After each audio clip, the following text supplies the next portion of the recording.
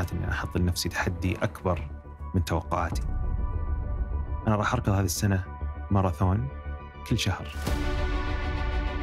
كلها بالتمرين كلها بال... بالوعي إنه أنت وين قاعد تتمرن وكيف ترفع اللياقة حقتك. من المقارنة بالماضي إلى أني أعدل نمط حياتي إلى أني أكون مركز على إنجاز مهمة معينة. لما تتغير البيئة المعتادة والمريحة تتكشف لك أمور ما كنت تعرفها عن نفسك. انسياب يعرض الآن على شاهد.